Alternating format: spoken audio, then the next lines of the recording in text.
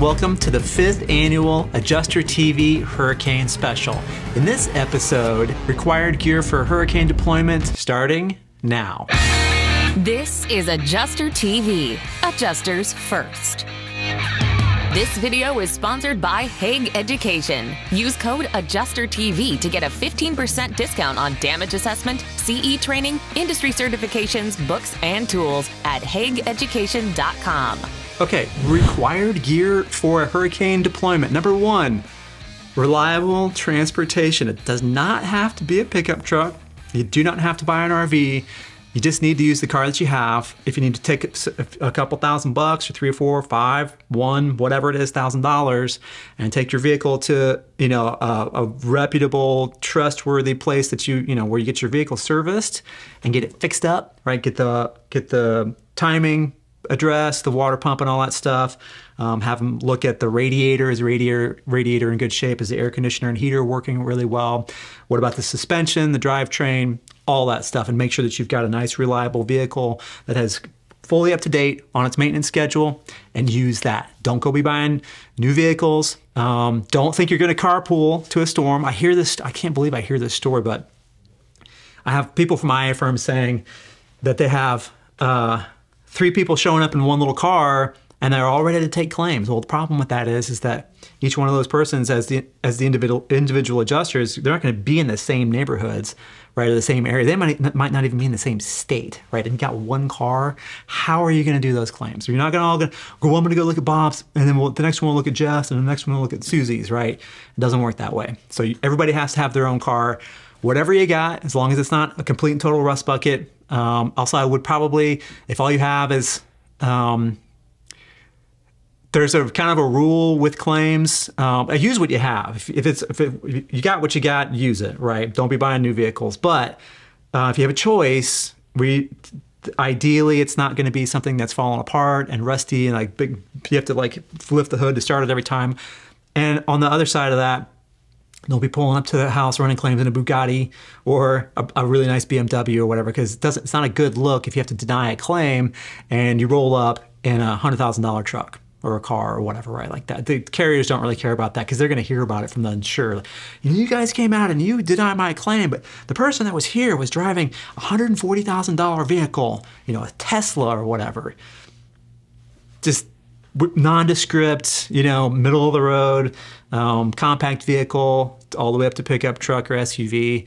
That's just like it's forgettable, right? That's the ideal thing for a vehicle. Second thing you need is a way to get on roofs, right? Hurricanes in particular, high winds, right? So you have to have a ladder that can at least get to, to have the, the top of the ladder be extending at least three feet, the minimum three feet over the gutter of the first floor.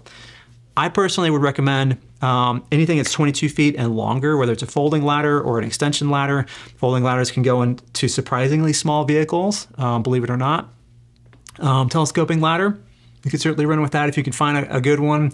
Um, I don't have any particular um, recommendations on fold or uh, telescoping ladders, but I know that they're better than they have been in the past. So you need a way to get on onto roofs. You don't necessarily need, you don't definitely don't need drones, and you're not necessarily going to need rope and harness, but you do need a way to get at least up to the the first floor of the house. You need um, camera, snapshot camera if you could find one. You need tape measure. I like a 35, a minimum of a 35 foot tape measure, preferably a 40 footer, which you can order off of Amazon, uh, like a 100 foot tape, uh, like a laser. And absolutely, a laser is a, is a critical piece of gear. You need a gear bag you put all the stuff in. You need pens and pencils. You need sidewalk chalk. You need uh, pitch gauge. I like a separate pitch gauge. You know, you can order them on Amazon or you can order them at adjustertv.com slash resources. Um, it's the, the basic plastic one you stick on the roof, take a picture of it. Um, you need probably should get some cougar paws for climbing on roofs. You need khakis. You need golf shirts because um, they may not have storm shirts, but even if they they do have storm shirts for you, I'm still going to bring along uh, golf shirts so that I have you know for laundry, such you know kind of a you, you run out of storm shirts and laundry day is still a couple of few days away, right? You need printer, printer cartridges, paper. That's kind of the essential kit that you need that'll get that'll get you off the ground. Um, again, you don't need a whole lot of fancy stuff. You probably could get away with. We need a good laptop, certainly, uh, a modern laptop that's made within the last couple of years. It doesn't have to be a three thousand dollar laptop. You can go to Costco or Best Buy and buy a seven hundred dollar or a nine hundred dollar laptop that will do absolutely outstanding for you. Um, and you don't really need like uh, iPads and things like that necessarily. But to sum up this, you need reliable transportation. Uh, you don't have to be to, to, buy a new vehicle. You don't need an RV. You need a way to get on roofs. You need a way to, to measure things. You're going to be using your 40 foot tape most of the time because it's going to be the, the easiest thing to deploy outside and inside.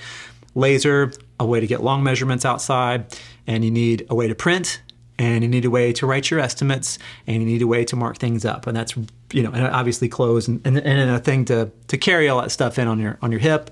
Maybe have like a bin or something like that in your back seats where you can put all your spares and your extra stuff or whatever. Um, take that printer with you in the car um, and that should do it for you. Then as you go as you work you'll start to see all right well i need this i need that right? And you don't have to like buy all that stuff before you go trying to anticipate what you might may or may not need bring the basics with you, and then you can go to, they've got Lowe's and Home Depot and Staples and Office Max and all these places everywhere in the entire country. So it's not like you're going to go, you're not going to, to Mars where they don't have any stores. You're going to go someplace and you're like, you know what, I actually do need a this. Run to the store and pick it up, right? It's no big deal. Did you know that this is just a clip of a much longer video? To watch the whole show and for a chance to have your questions answered by me, become a member at adjustertvplus.com.